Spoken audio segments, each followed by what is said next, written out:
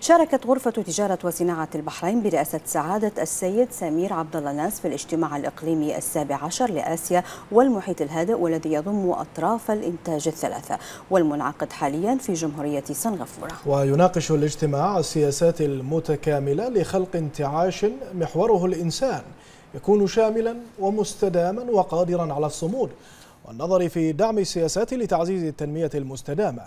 وأكد السيد سمير ناس أن مملكة البحرين لا تدخر جهدا نحو تعزيز مواردها البشرية لتحقيق الاستدامة والنماء على الصعيدين الاقتصادي والاجتماعي تحت راية جلالة ملك البلاد المعظم حفظه الله ورعاه.